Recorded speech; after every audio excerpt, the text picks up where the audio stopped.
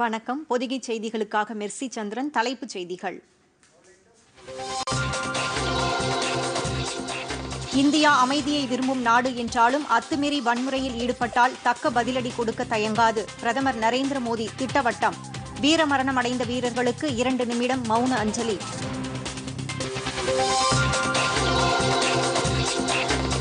தமிழகம் உள்ளிட்ட பதினைந்து மாநில முதலமைச்சர்களுடன் பிரதமர் நரேந்திர மோடி காணொலி மூலம் கலந்துரையாடல். கொரோனா தடுப்பு நடவடிக்கைகள் குறித்து முக்கிய ஆலோசனை.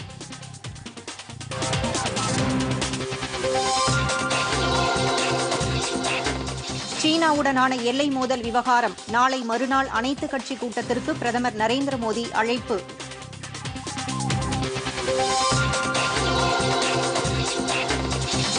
இந்தியாவுடனான எல்லை பிரச்சினையை பேச்சுவார்த்தை மூலம் தீர்த்துக் கொள்ள சீனா விருப்பம். இந்தியாவுடன் சண்டையிட விரும்பவில்லை என சீன வெளியுறவுத்துறை அமைச்சகம் தகவல்.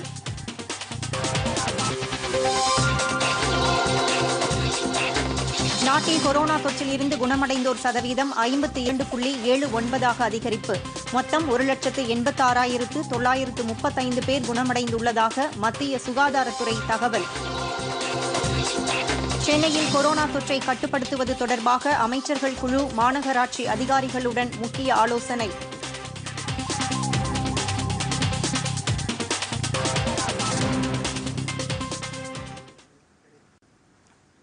இனி விரிவான செய்திகள்.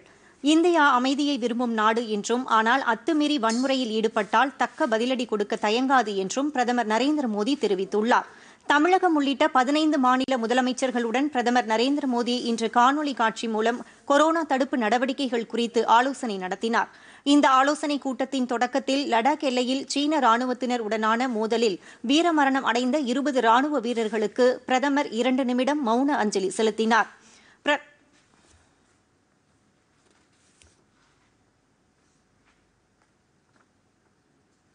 பிரதமருடன் மத்திய உள்துறை அமைச்சர் அமித் ஷா மற்றும் பதினைந்து மாநில முதலமைச்சர்களும் எழுந்து நின்று வீரமரணம் அடைந்த வீரர்களுக்கு இரண்டு நிமிடம் மௌன அஞ்சலி செலுத்தினார்கள். இதன் பின்னர் பேசிய பிரதமர் நரேந்திர மோடி இந்தியா எப்போதும் அமைதியை விரும்பும் நாடு என்றும் ஆனால் அத்துமீறி வன்முறையில் ஈடுபட்டால் தக்க பதிலடி கொடுக்க தயங்காது என்றும் தெரிவித்தார். எந்த நாட்டின் மீதும் இந்தியா வன்முறையில் ஈடுபடுவது கிடையாது என்றும் அத்துமீறிய செயல்களுக்கு தக்க பதிலடி கொடுக்கும் வல்லமை இந்தியாவுக்கு உள்ளது என்றும் பிரதமர் குறிப்பிட்டார் எல்லையில் வீரமரணம் அடைந்த இந்திய வீரர்களின் உயிர் தியாகம் ஒருபோதும் வீணாகாது என்றும் நாட்டின் ஒருமைப்பாடு மற்றும் இறையாண்மை மிகவும் முக்கியமானது என்றும் பிரதமர் குறிப்பிட்டார் अपनी शक्ति का प्रदर्शन किया है अपनी क्षमताओं को साबित किया है त्याग और तितिक्षा हमारे राष्ट्रीय चरित्र का हिस्सा है। लेकिन साथ ही विक्रम और वीरता भी उतना ही हमारे देश के चरित्र का हिस्सा है।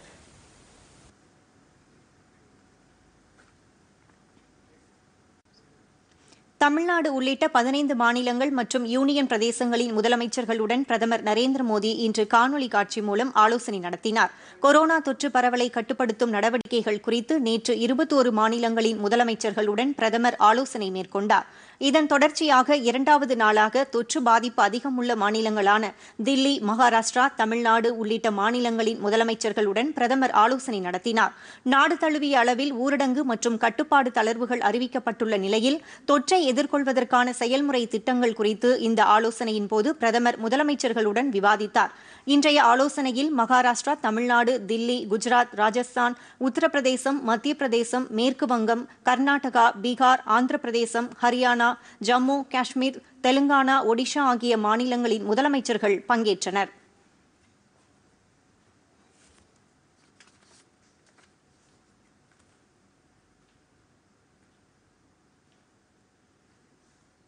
தமிழகம் சார்பில் முதலமைச்சர் எடப்பாடி பழனிசாமி பிரதமருடன் கலந்துரையாடினார். கொரோனாவை கட்டுப்படுத்தவும் பொருளாதார இழப்பை ஈடுகட்டவும் தமிழகத்திற்கு ஒன்பதாயிரம் கோடி ரூபாய் சிறப்பு நிதி ஒதுக்க வேண்டும் என்று பிரதமரின் முதலமைச்சர் அப்போது கோரிக்கை விடுத்தார். दुनिया के और देशों में कोरोना ने आफत पैदा की है। दुनिया के बड़े बड़े एक्सपर्ट्स हेल्थ के जानकार लॉकडाउन और भारत के लोगों द्वारा दिखाए गए अनुशासन की आज भारी चर्चा हो रही है। आज भारत में रिकवरी रेट 50 प्रतिशत से ऊपर चला गया है। आज भारत दुनिया के उन देशों में अग्रणी है जहाँ कोरोना संक्रमित मरीजों का जीवन बच रहा है। कोरोना से किसी की भी मृत्यु दुखद है।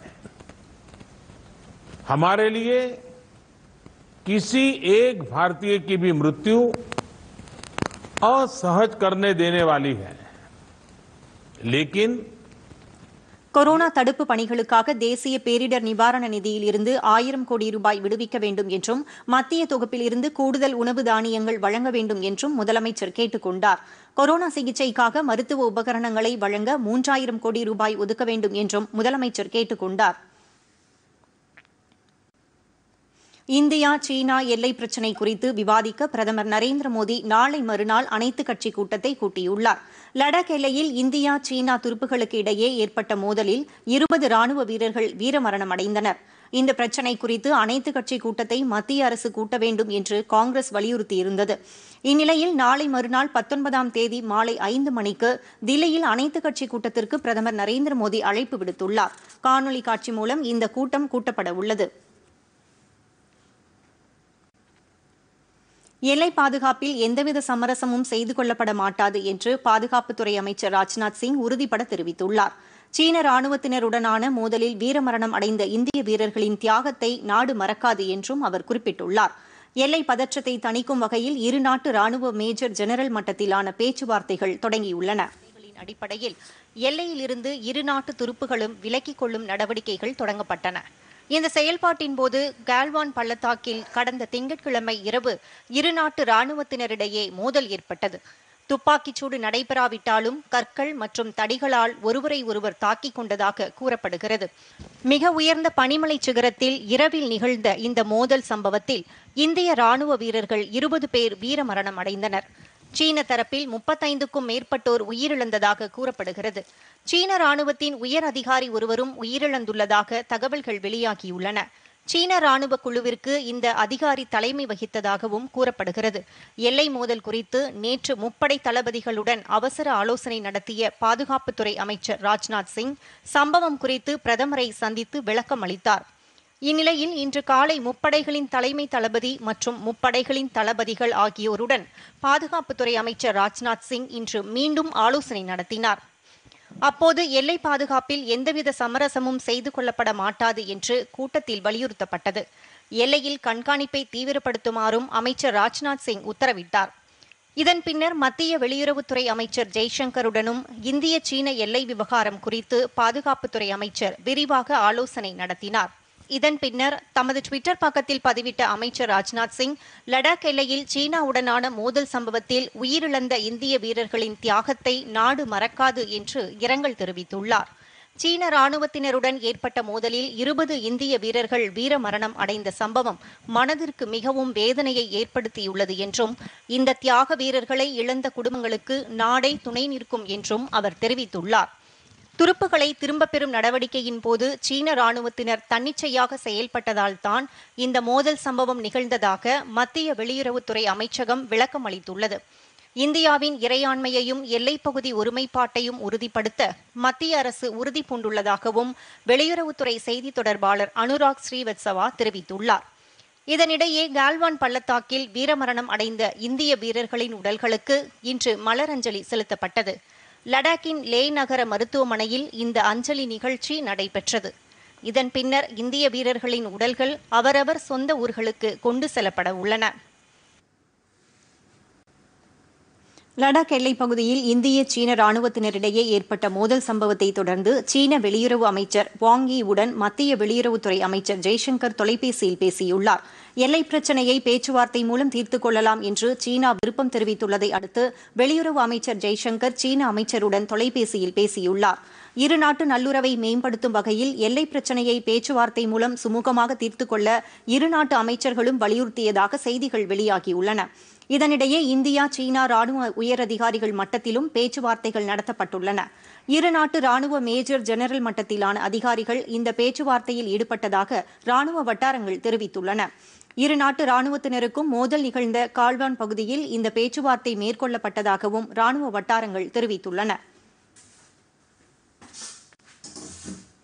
சீனாவை ஒட்டியுள்ள கிழக்கு லடாக் எல்லைப் பகுதியில் கால்வான் பள்ளத்தாக்கில் நேற்று இந்திய சீன ராணுவத்தினரிடையே ஏற்பட்ட மோதலில் வீரமரணம் அடைந்த இந்திய ராணுவ வீரர்கள் இருபது பேரின் பெயர்கள் வெளியிடப்பட்டுள்ளன.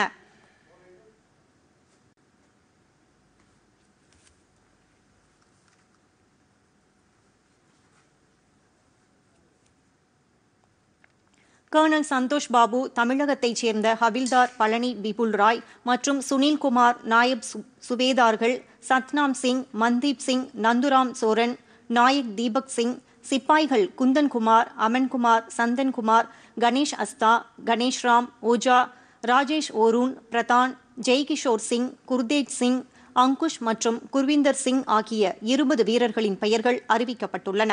இந்திய ராணுவ தரப்பில் இந்த பட்டியல் வெளியிடப்பட்டுள்ளது.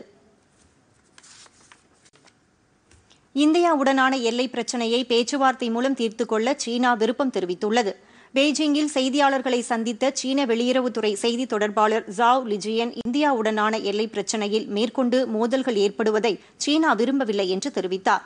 இந்தியாவுடன் ராணுவம் மற்றும் தூதரக மட்டத்திலான பேச்சுவார்த்தைகள் தொடர்ந்து மேற்கொள்ளப்பட்டு வருவதாகவும் கருத்து வேறுபாடுகளை பேச்சுவார்த்தைகள் மூலம் தீர்த்துக் கொள்ள நடவடிக்கை மேற்கொள்ளப்பட வேண்டும் என்றும் லிஜியான் அப்போது வலியுறுத்தினாா் வலியுறுத்தினார்.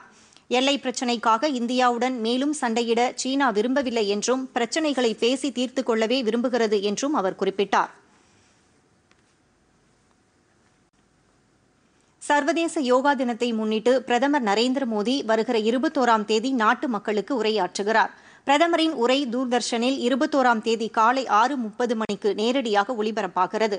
ட்விட்டர் ஃபேஸ்புக் யூடியூப் போன்ற டிஜிட்டல் தளங்களிலும் பிரதமரின் உரை ஒளிபரப்பாக உள்ளது.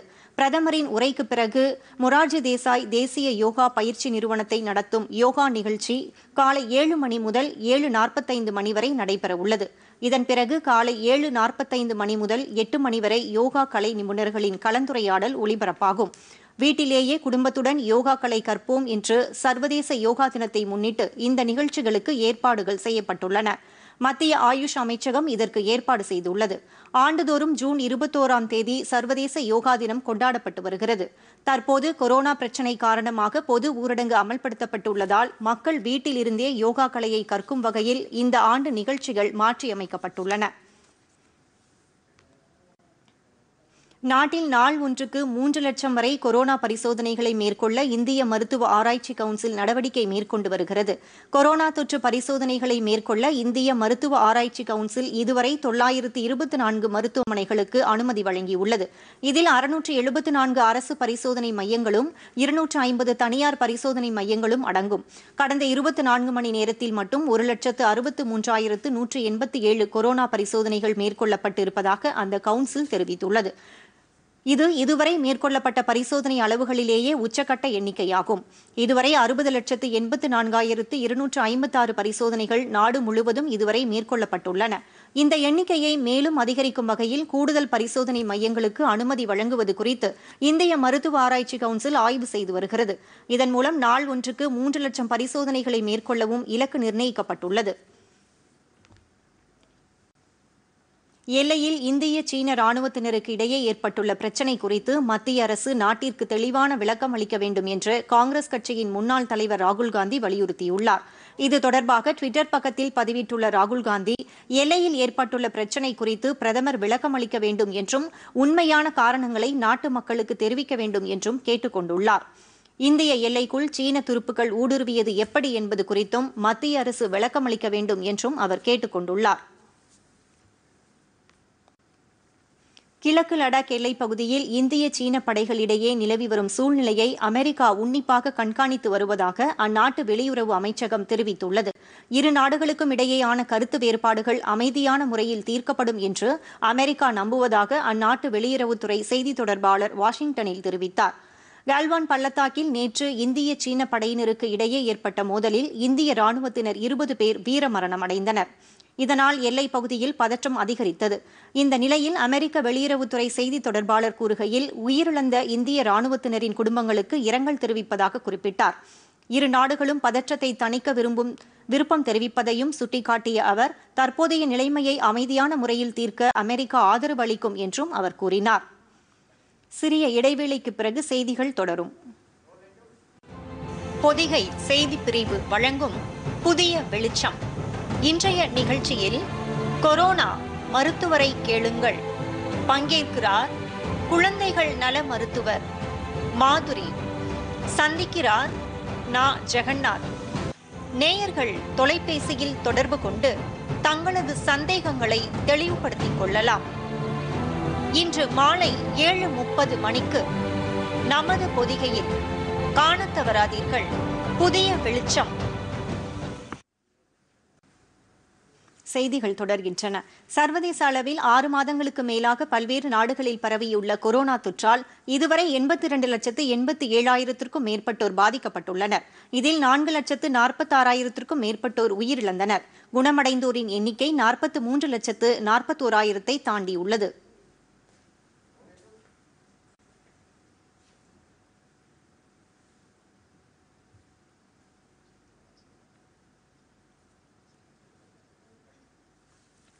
நாட்டில் கொரோனா தொற்றால் பாதிக்கப்பட்டவர்களில் இதுவரை ஐம்பத்தி இரண்டு புள்ளி ஏழு ஒன்பது சதவீதம் பேர் குணமடைந்துள்ளனர். மேலும் ஆறாயிரத்து தொள்ளாயிரத்து இருபத்தி இரண்டு பேர் குணமடைந்ததன் மூலம் ஒட்டுமொத்தமாக ஒரு லட்சத்து எண்பத்தாறாயிரத்து தொள்ளாயிரத்து முப்பத்தைந்து பேர் குணமடைந்துள்ளதாக மத்திய சுகாதாரத்துறை அமைச்சகம் தெரிவித்துள்ளது. கூடுதலாக பத்தாயிரத்து தொள்ளாயிரத்து எழுபத்தி நான்கு பேர் நோய் தொற்றால் பாதிக்கப்பட்டுள்ளதை அடுத்து அதன் எண்ணிக்கை மூன்று லட்சத்து ஐம்பத்து நான்காயிரத்து அறுபத்தைந்தாக உயர்ந்துள்ளது. இதற்கிடையே அதிகபட்சமாக ஒரே நாளில் இரண்டாயிரத்து மூன்று பேர் உயிரிழந்த நிலையில் ஒட்டுமொத்த உயிரிழப்பு எண்ணிக்கை பதினோராயிரத்து தொள்ளாயிரத்து மூன்றாக அதிகரித்துள்ளது. கொரோனா தொற்று சமூக பரவலாக மாறுவதை தடுக்கும் வகையில் சென்னை உள்ளிட்ட நான்கு மாவட்டங்களில் முழு ஊரடங்கு நாளை மறுநாள் முதல் பனிரண்டு நாட்களுக்கு அமல்படுத்த உள்ளதாகவும் இம்முறை ஊரடங்கு மிக கடுமையாக பின்பற்றப்படும் என்றும் மாநில அமைச்சர் டி. ஜெயக்குமார் தெரிவித்துள்ளார். சென்னையில் முழு ஊரடங்கை அமல்படுத்துவது நோய் தொற்றை குறைப்பது ஆகியவை குறித்து சென்னை மாநகராட்சி அலுவலகத்தில் ஆலோசனை கூட்டம் நடைபெற்றது. உள்ளாட்சித்துறை அமைச்சர் எஸ் பி வேலுமணி தலைமையில் நடைபெற்ற இக்கூட்டத்தில் அமைச்சர்கள் D. Jayakumar R. B. Udhayakumar க. பாண்டியராஜன் கே. பி. அன்பழகன் சுகாதாரத்துறை அமைச்சர் விஜயபாஸ்கர் ஆகியோர் பங்கேற்றனர்.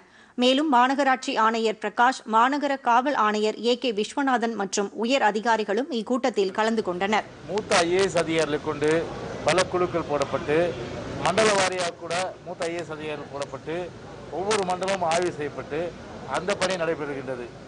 அது மட்டுமில்லாமல் மாண்பு முதலமைச்சர் உத்தரவின் பேரில் அமைச்சர்கள் குழு மண்டல வாரியாக பிரிந்து அவர்களும் தங்களுடைய பணியை வந்து சிறப்பான முறையில் செய்திருக்கிறார்கள் இன்றைக்கு ஒரு விரிவான ஆய்வுக் கூட்டம். நம்முடைய முதலமைச்சருடைய உத்தரவின் நம்முடைய மாண்புமிகு உள்ளாட்சித்துறை அமைச்சர் தலைமையில் இன்றைக்கு நடைபெற்று அதன் அடிப்படையில் வந்து பல்வேறு வகைகளில் வந்து அலசி ஆராய்ந்து அதன் அடிப்படையில் சில முடிவுகள் வீடு விட்டு வெளியில் வரும்போது முகக்கோசம் போடுறது சமூக இடைவெளி கடைபிடிக்கிறது. ஸோ இந்த மாதிரி விஷயங்களை வந்து அவங்க வந்து கடைபிடிச்சிட்டாங்கன்னா கண்டிப்பாக வந்து சென்னையை பொறுத்தவரையில் தமிழ்நாடும் சரி முழுமையான அளவுக்கு வந்து இந்த தாக்கம் வந்து குறைக்கும் கொரோனா தடுப்பு நடவடிக்கையாக அரசின் அறிவுரைகளான முகக்கவசம் அணிவது சமூக இடைவெளியை கடைபிடிப்பது உள்ளிட்டவற்றை பின்பற்றாத சூழ்நிலையில் நோய் தொற்று பரவினால் மீண்டும் ஊரடங்கு உத்தரவு அமல்படுத்தப்படும் சூழ்நிலை ஏற்படும் என்று மாநில கூட்டுறவுத்துறை அமைச்சர் செல்லூர் ராஜு கூறியுள்ளார். மதுரை மாவட்டம் மாடக்குளம் கண்மாயை அவர் இன்று ஆய்வு செய்தார். பின்னர் செய்தியாளர்களிடம் பேசிய அவர் கடந்த இரண்டாயிரத்து பத்தொன்பதாம் ஆண்டு எண்பத்தைந்து லட்சம் ரூபாய் மதிப்பில் நீர்வரத்து கால்வாய் தூர்வாரப்பட்டு ஆக்கிரமிப்புகள் அகற்றப்பட்டதாக தெரிவித்தார். இதனால் மாடக்குளம் கண்மாயில் நூற்று அறுபத்தி ஏழு மில்லியன் கன அடி தண்ணீர் நிரம்பியுள்ளதாகவும் மூன்று மடைகள் சீரமைக்கப்பட்டு முன்னூற்று அறுபத்தி ஏழு புள்ளி ஏழு ஏழு ஏக்கர் நிலங்கள் பாசன வசதி- வசதி செய்யப்பட்டுள்ளதாகவும் அமைச்சர் செல்லூர் ராஜு குறிப்பிட்டார்.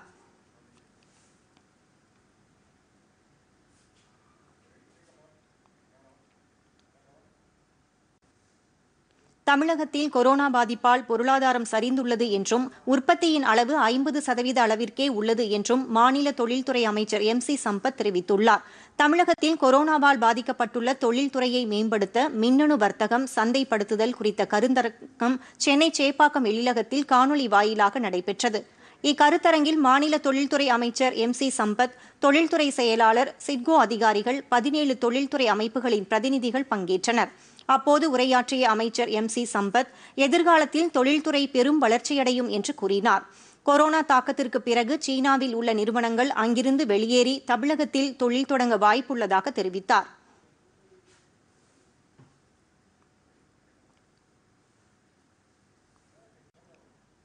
தஞ்சாவூர் மாவட்டம் கள்ளப்பெரும்பூர் கிராமத்தில் தொன்னூற்றி இரண்டு லட்சம் ரூபாய் செலவில் செங்கழுநீர் ஏரி தூர்வாரும் பணியை மாநில வேளாண் துறை அமைச்சர் துரைக்கண்ணு தொடங்கி வைத்தார்.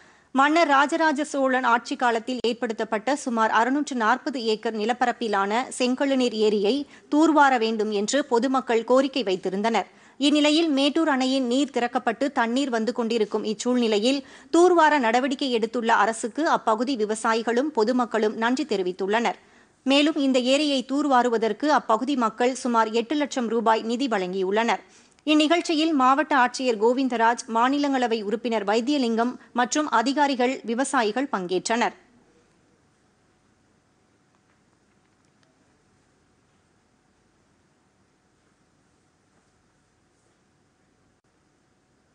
தமிழகத்தில் இணையவழி கல்வி முறையால் கிராமப்புற மாணவர்கள் மற்றும் நகர்ப்புற ஏழை எளிய மாணவர்கள் பாதிக்கப்படுவார்கள் என்பதால் அதற்கு மாநில அரசு அனுமதி அளிக்கக்கூடாது என்று திமுக தலைவர் மு ஸ்டாலின் வலியுறுத்தியுள்ளார். இதுகுறித்து அவர் வெளியிட்டுள்ள அறிக்கையில் தமிழகத்தில் உள்ள ஒரு கோடியே முப்பத்தோரு லட்சம் மாணவர்களில் அறுபது சதவீதம் பேர் கிராமப்புறங்களில் உள்ளதாகவும் இணையவழி கல்விக்கு தேவையான கணினி மடிக்கணினி ஸ்மார்ட் போன் போன்ற வசதிகள் அவர்களிடம் இல்லை என்றும் குறிப்பிட்டுள்ளார். கிராமப்புறங்களில் பதினான்கு புள்ளி ஒன்பது சதவீதம் பேருக்கும் நகர்ப்புறங்களில் நாற்பத்தி இரண்டு சதவீதம் பேருக்கும் மட்டுமே இணையதள வசதி இருப்பதாக தேசிய மாதிரி ஆய்வு நிறுவனம் தனது அறிக்கையில் குறிப்பிட்டுள்ளதை சுட்டிக்காட்டியுள்ளார். இணையவழி வகுப்புகளை நடத்தலாம் என்று மாநில அரசுகளுக்கு மத்திய அரசு அறிவுறுத்துவது தேசிய கல்விக் கொள்கைகளுக்கு எதிரானது என்றும் அவர் கூறியுள்ளார். இணையவழி கல்வி மாணவர்களுக்கு தேவையில்லாத மன அழுத்தம் தாழ்வு மனப்பான்மை ஆகியவற்றை ஏற்படுத்தும் என்றும் உடல்நலக் குறைவுக்கு வழிவகுக்கும் என்றும் மு ஸ்டாலின் குறிப்பிட்டுள்ளார். இது மாணவர்களிடையே ஏற்றத்தாழ்வுகளையும் பாகுபாடுகளையும் உருவாக்கும் என்பதால் இணையவழி கல்வி முறையை கைவிட வேண்டும் என்று மு ஸ்டாலின் குறிப்பிட்டுள்ளார்.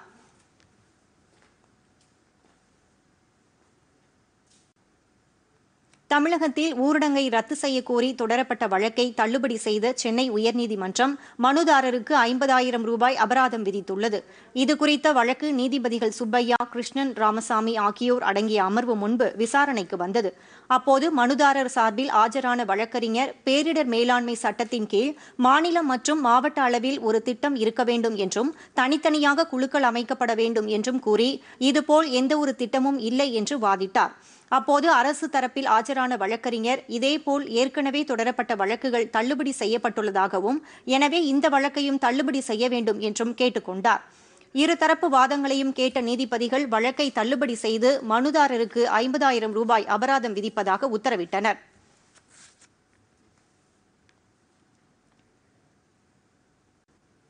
தலைமைச் செயலகம் பொதுத்துறை முதலமைச்சர் அலுவலக பிரிவில் முதுநிலை தனிச் செயலாளராக பணியாற்றி வந்த பி. ஜே. தாமோதரன் மறைவுக்கு முதலமைச்சர் எடப்பாடி பழனிசாமி இரங்கல் தெரிவித்துள்ளார். இதுகுறித்து அவர் வெளியிட்டுள்ள அறிக்கையில் உடல்நலக் குறைவு காரணமாக தாமோதரன் மருத்துவமனையில் அதிகாலை காலமானார் என்ற செய்தி அறிந்து தாம் மிகுந்த வேதனை அடைந்ததாக தெரிவித்துள்ளார். கொரோனா தடுப்பு பணியின் போது அர்ப்பணிப்பு உணர்வுடன் பணியாற்றிய தாமோதரனின் சேவை மகத்தானது என்றும் குறிப்பிட்டுள்ளார். அவரது குடும்பத்திற்கு ஆழ்ந்த இரங்கலையும் அனுதாபத்தையும் தெரிவித்துக் கொள்வதாக கூறியுள்ளார். மறைந்த தாமோதரன் குடும்பத்தில் ஒருவருக்கு தகுதி அடிப்படையில் அரசு வேலை வழங்கவும் தான் உத்தரவிட்டுள்ளதாகவும் முதலமைச்சர் எடப்பாடி பழனிசாமி குறிப்பிட்டுள்ளார்.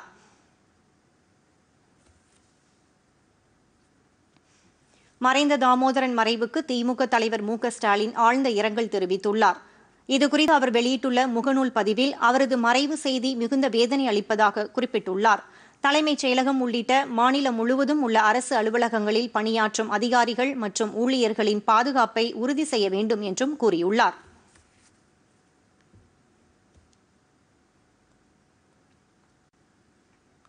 ஐநா பாதுகாப்பு குழுவில் நிரந்தரம் அல்லாத ஐந்து உறுப்பு நாடுகள் இன்று தேர்ந்தெடுக்கப்பட உள்ளன. பதினைந்து நாடுகளை உறுப்பினர்களாக கொண்ட பாதுகாப்பு குழுவிற்கு பிரான்ஸ் நாடு இம்மாதத்திற்கான தலைமை பொறுப்பை வகிக்கிறது. ஆசிய பசிபிக் பிராந்தியத்தில் அடுத்த ஆண்டிற்கான நிரந்தரமல்லாத உறுப்பினர் பதவிக்கு இந்தியா போட்டியிடுகிறது. இதற்கு சீனா பாகிஸ்தான் உள்ளிட்ட ஐம்பத்தைந்து நாடுகள் கடந்த ஆண்டு ஒப்புதல் அளித்திருந்தது. பாதுகாப்பு குழுவில் நிரந்தரமல்லாத உறுப்பினர்களாக உள்ள பத்து நாடுகளில் ஆண்டுதோறும் ஐந்து நாடுகள் தேர்ந்தெடுக்கப்படுகிறது. அந்நாடுகளின் பதவிக்காலம் இரண்டு ஆண்டுகளாக உள்ளது.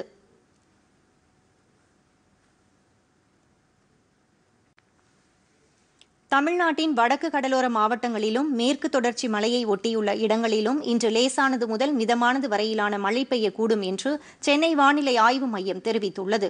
தமிழகம் தவிர்த்து புதுச்சேரி காரைக்காலிலும் ஓரிரு இடங்களில் லேசான மழை பெய்ய வாய்ப்புள்ளதாக வானிலை மைய அறிக்கை தெரிவிக்கிறது. தமிழகத்தின் இதர பகுதிகளில் வறண்ட வானிலையே நிலவும் என்றும் அந்த மையம் தெரிவித்துள்ளது.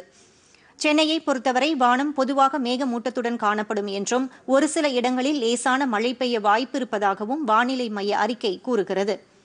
வெப்பநிலையை பொறுத்தவரை அதிகபட்சமாக நாற்பது டிகிரி செல்சியஸாகவும் குறைந்தபட்சமாக இருபத்தொன்பது டிகிரி செல்சியஸாகவும் இருக்கும் என்று சென்னை வானிலை ஆய்வு மையம் குறிப்பிட்டுள்ளது. மீண்டும் தலைப்புச் செய்திகள்.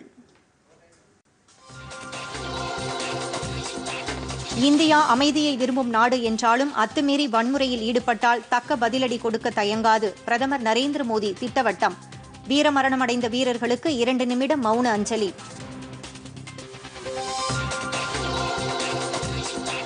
தமிழகம் உள்ளிட்ட பதினைந்து மாநில முதலமைச்சர்களுடன் பிரதமர் நரேந்திர மோடி காணொலி மூலம் கலந்துரையாடல். கொரோனா தடுப்பு நடவடிக்கைகள் குறித்து முக்கிய ஆலோசனை.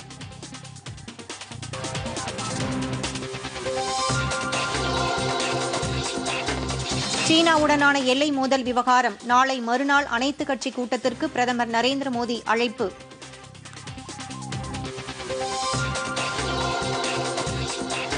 இந்தியாவுடனான எல்லை பிரச்சினையை பேச்சுவார்த்தை மூலம் தீர்த்துக் கொள்ள சீனா விருப்பம். இந்தியாவுடன் சண்டையிட விரும்பவில்லை என சீன வெளியுறவுத்துறை அமைச்சகம் தகவல்.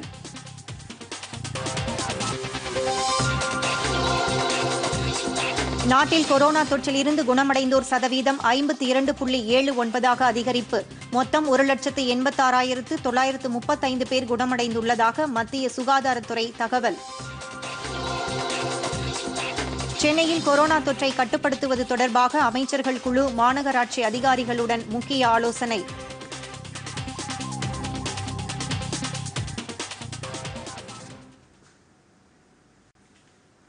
பொதிகை செய்திகளை யூடியூபில் தமிழ் நியூஸ் தூர்தர்ஷன் என்ற சேனலிலும் ட்விட்டரில் Tamil news Doordarshan at DD news Chennai என்ற பக்கத்திலும் காணலாம்.